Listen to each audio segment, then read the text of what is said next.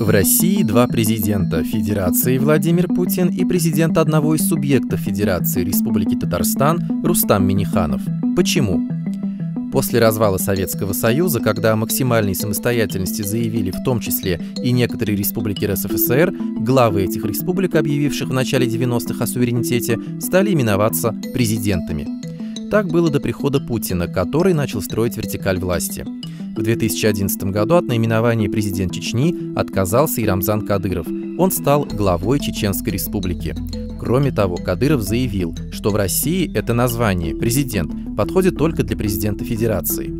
А вот в Татарстане президентство всеми силами пытались и пытаются сохранить. И дело тут не в личностях Ментимира Шаймиева или Рустама Миниханова. Впервые после потери независимости, когда татарские ханства были захвачены и уничтожены, в конце 20 века татары заявили о своих устремлениях к суверенитету. В 1991 году в Татарстане были проведены первые выборы президента республики. Считается, что это заметно повысило статус Татарстана, помогало налаживать в том числе и международные связи. Если уж есть своя республика, то должен быть и свой президент, считают в Казани.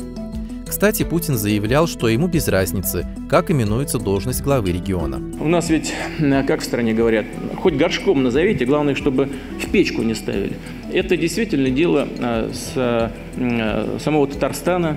Мы с уважением отнесемся к любому выбору народа Татарстана. Поэтому вы сами там решаете, ладно? 27 сентября стало известно, что в Госдуму внесен законопроект, по которому главы регионов Федерации обязаны именоваться не губернаторами или президентами, а именно главами. Кроме этого, в Думу внесены законопроекты о расширении оснований для отстранения губернаторов по решению федерального президента. А что тогда остается от этой самой федерации, если все решает Москва?